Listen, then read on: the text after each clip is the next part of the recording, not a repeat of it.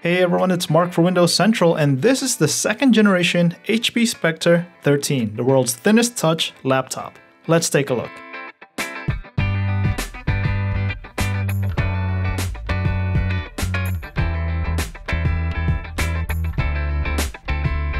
So it has a 13.3 inch display with up to 4K resolution, 8th generation Intel quad core processor, up to 16 gigs of RAM, up to 1TB PCIe SSD, and up to 11 hours of battery life. It is offered in ceramic white with pale gold polished accents or dark ash silver with copper accents. There are no ports on the sides as they're located on the back. There are two Thunderbolt 3 ports and one USB-C 3.1 which is also used for power. The audio jack is also located on the back. A noticeable change from the previous generation is the location of the speakers. It's now by the hinge instead of the sides. They're also 66% louder and the new position makes the laptop narrower than the previous model.